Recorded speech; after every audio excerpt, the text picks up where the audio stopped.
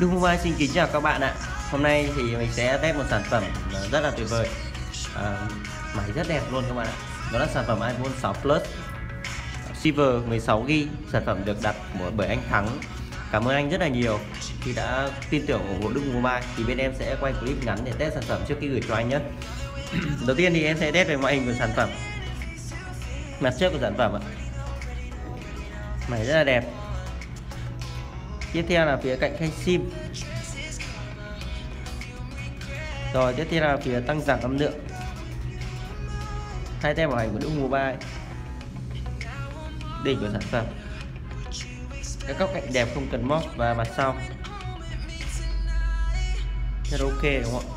Tiếp theo em test ở phần bên trong nhé. Đầu tiên thì sẽ test màn hình cảm ứng ạ. Chúng ta hãy chọn một cái icon và di chuyển quanh màn hình luôn rất là mượt mà luôn. Rất ok.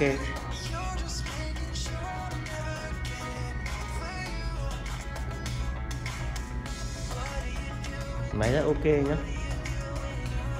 tiếp theo thì ờ, đây là Talk ID nhé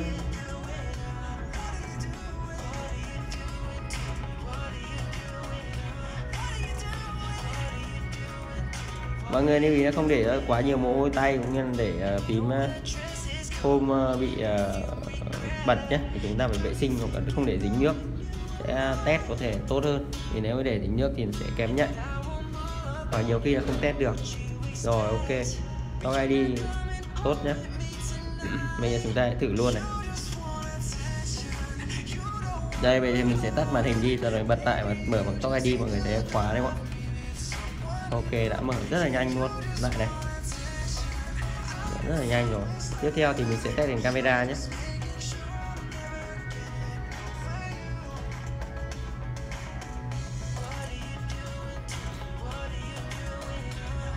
À, camera room thoải mái nhưng hình ảnh vẫn rất là đẹp không có bị vỡ nhá. Ok. Tiếp theo thì mình sẽ test thêm đến phần đó là à, kết nối mạng ạ.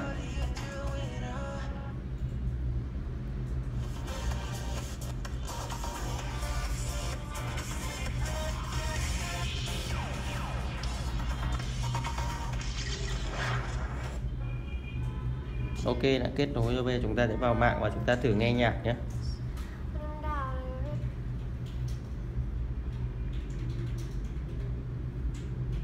Chúng ta thử vào nhà mạng và chúng ta nghe nhạc. Để à, test về kết nối mạng cũng như là âm thanh của máy luôn.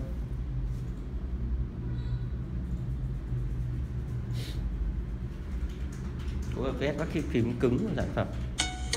Ok, loa rất là to luôn. Phím tăng giảm âm lượng kìm cứng hoạt động tốt nhé. Kiếm ga rung này.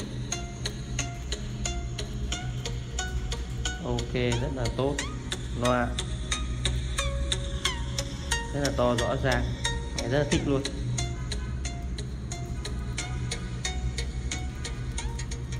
Kìm cứng hoạt động rất là tốt. Rồi, tiếp theo thì à, mình sẽ test thì phần à, ghi âm để test mic nhé.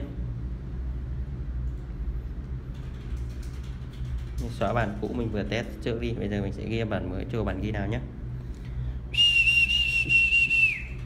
Mệt lại đấy bật loa ra ngoài này. ok, loa ngoài nhé. Rất là to và rõ ràng luôn. Rồi, ok, vừa rồi mình đã test qua chức năng cơ bản của sản phẩm, nó rung chuông, nó mic. Cảm ứng màn hình, camera, cảm ứng vân tay.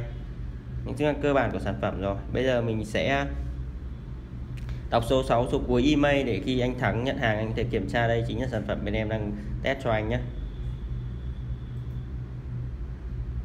6 số cuối email của sản phẩm. Đó là 46 77 và 23 46 77 và 23 nhé.